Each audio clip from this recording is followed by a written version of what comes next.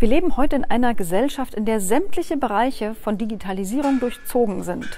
Deswegen ist es natürlich wichtig, dass wir Frauen, die wir 50 Prozent der Bevölkerung ausmachen, auch in alle diese Gestaltungen der digitalen Gesellschaft unsere Wünsche, Prioritäten und Erfahrungen entsprechend einbringen können. Nur so wird es eine Gesellschaft, in der wir angemessen repräsentiert sind.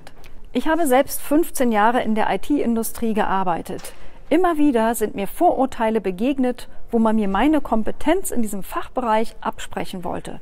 Immer wieder ist mir aber auch begegnet, dass Produkte und Dienste entwickelt worden sind auf der Basis von Männerdaten, von Männern und für Männern, die dann für Frauen gar nicht gepasst haben.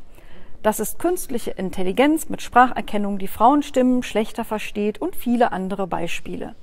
Das muss sich ändern. Das kann sich aber nur ändern, wenn wir auch daran beteiligt werden. Das mache ich weiter heute als Netzpolitikerin und ich würde mich freuen, wenn viel mehr Frauen da auch noch mitmachen. Ich würde mir am allermeisten wünschen, dass wir endlich die Stereotypisierung von Kompetenzen loswerden, die Zuschreibung, dass bestimmte Aspekte ein Mädchen besonders gut kann und bestimmte andere ein Junge. Weil diese Annahmen, die übrigens in den letzten 20 Jahren immer schlimmer geworden sind, führen dazu, dass wir in Spielzeugläden eine rosa Seite haben, die für die Mädchen mit Prinzessinnen und Einhörnern und die dunkelbunte Technikseite mit Monstern, Abenteuern und Robotern für die Jungs.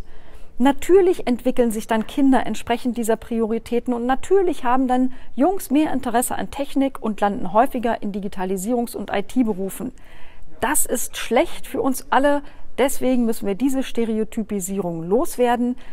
In Bilderbüchern, in Spielzeugläden, in Schulbüchern. Das wäre mein größter Wunsch. Als Netzpolitikerin habe ich mit einer wahnsinnig großen Bandbreite der Digitalisierung zu tun, denn die ist ja auch überall.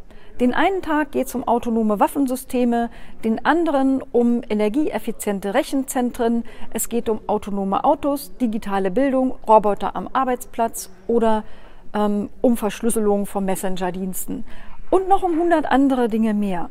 Überall ist Digitalisierung. Ich glaube, dass Frauen vielleicht einen anderen Blick auf diese Themen haben und deswegen mache ich bei dieser Initiative mit.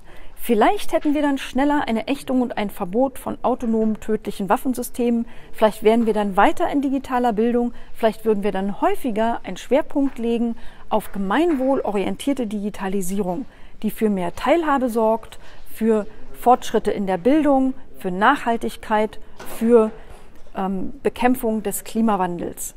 Das wünsche ich mir, deshalb mache ich mit und deshalb hoffe ich viele andere auch.